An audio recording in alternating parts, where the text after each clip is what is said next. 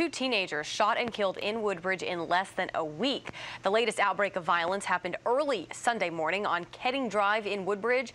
Our Brianne Carter is live now with what police say happened. Bree?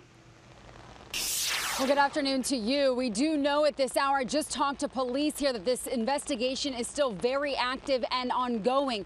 Meanwhile, police just moments ago releasing new information about the case involving another teen. Right now, Prince William County police are searching for a suspect after a shooting that killed a 19 year old man and injured a 15 year old boy. The present stuff going on, I don't think I feel that safe Prince William County Police tell ABC 7 News early Sunday morning 19 year old Christopher Weaver and the 15 year old were shot in this Woodbridge cul de sac. Weaver, who was known to his friends as Woody, was taken to the hospital where he died. Friends describe Woody as someone who was always nice. Yeah, that's, that's really strange, you uh, know.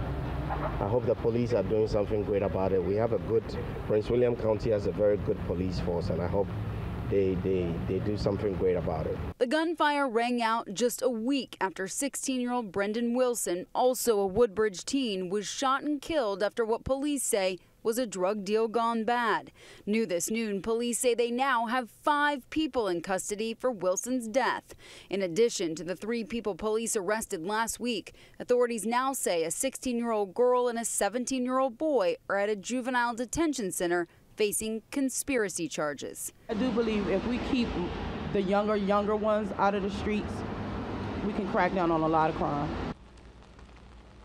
Now, back to the latest incident happening early Sunday morning. Police do tell us that 15 year old is expected to be okay. Police also say that they do not believe that this was a random crime. The investigation ongoing. Reporting line, Brianne Carter, ABC 7 News.